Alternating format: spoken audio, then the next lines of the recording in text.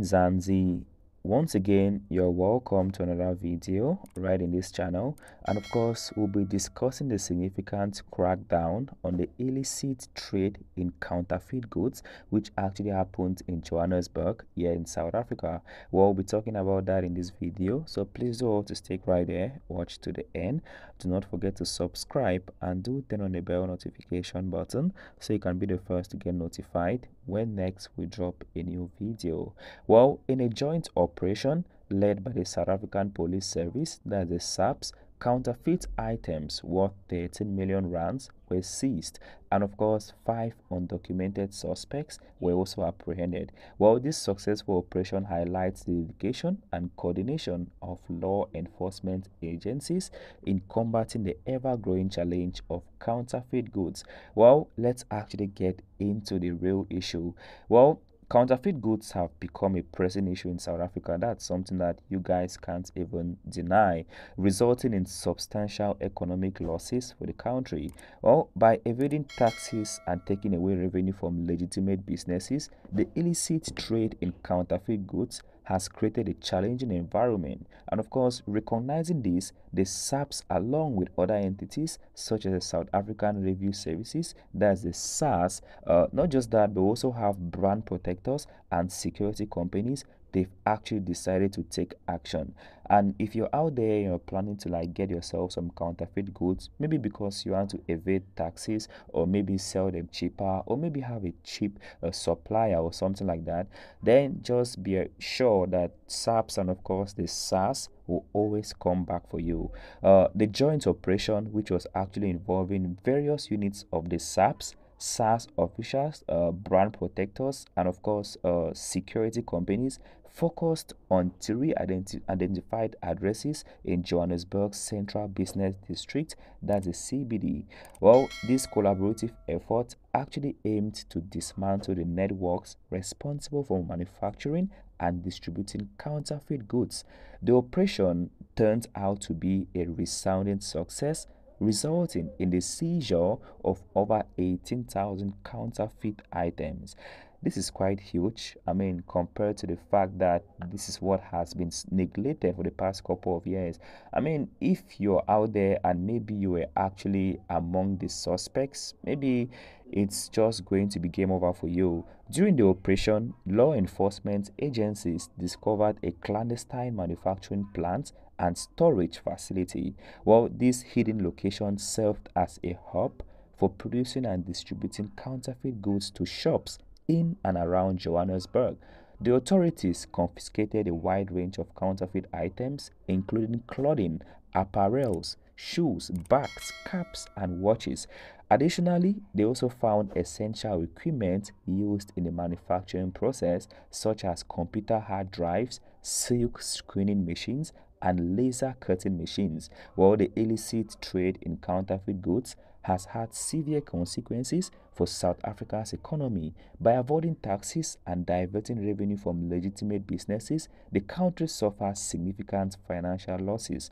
While this operation sends a clear message that law enforcement agencies, in collaboration with other stakeholders, are committed to safeguarding the economy and creating a more secure environment for businesses to thrive. So if you're out there and you're a businessman and you've been complaining that for the past couple of God knows how many years you've been unable to make yourself some good profit, maybe because people don't get original things anymore and they would rather go to counterfeit goods or products, maybe because they are way cheaper, then of course you are supposed to be excited because SAPS, SARS, and other entities here in South Africa are working hand in glove to actually make your your dream to actually get your business bigger come to come to pass. Well, as a result of this successful operation, five undocumented suspects were arrested.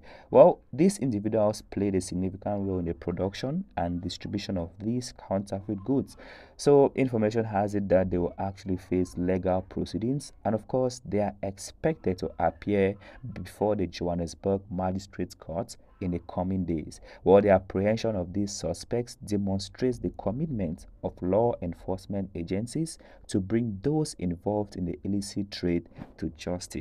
I mean, it's but normal that when these type of things are always being talked about, you must in one way or another get to hear about illegal foreigners. And to an extent when we south africans say we don't want foreigners maybe they get to feel like we're being xenophobic or maybe we don't want them around or we're trying to chase them i mean if you should go to another person's country and of course you somehow bring nuisance to them or you're somehow a liability or you're causing trouble and havoc then believe me there is no way you're going to find refuge or find solace in that particular place. Well, in conclusion, the recent crackdown on counterfeit goods in Johannesburg serves as a powerful example of the collaborative efforts made by law enforcement agencies, government entities, and brand protectors to combat this pervasive issue. While the seizure of counterfeit items worth over 13 million rands and of course the arrest of five suspects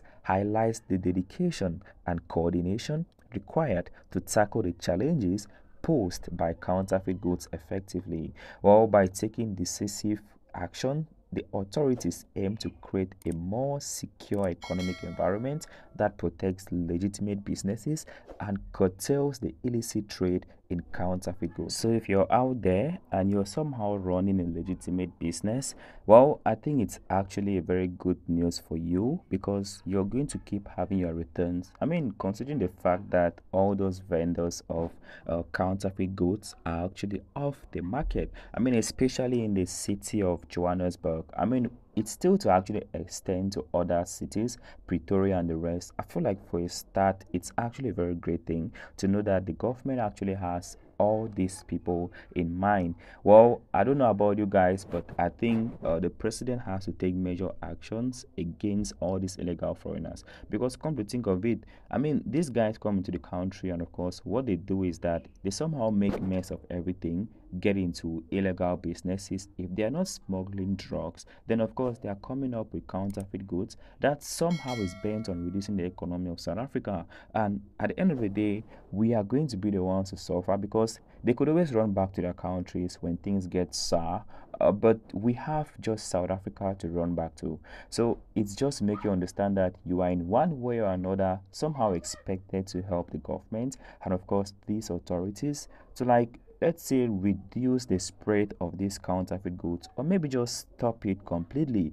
So if you're out there and you're somehow uh, let's say pissed off maybe you should help the government by giving them information or let's say cooperating with them. I mean this is just a way to like reduce the spread of counterfeit goods and stop these illegal foreigners or foreigners in general uh, from somehow making more mess of South Africa than the way it is already. So please leave your thoughts in the comment section about anything you feel or anything you have to say regarding this particular video. And please don't forget to subscribe and do turn on the bell notification button so you could be notified when next we drop a new clip. Well, stay tuned and of course, stay glued.